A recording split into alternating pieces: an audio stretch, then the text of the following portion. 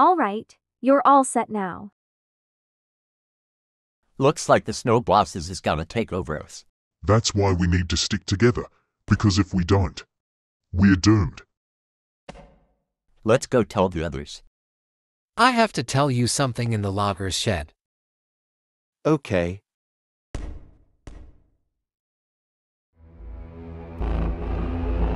Another predictable problem. Snow enemies are approaching soon. Just to let you know, I created the War of Trees against loggers. I was so bored, so I made this war. For the those of you that are loggers and trees, you better face your enemies, so team up together.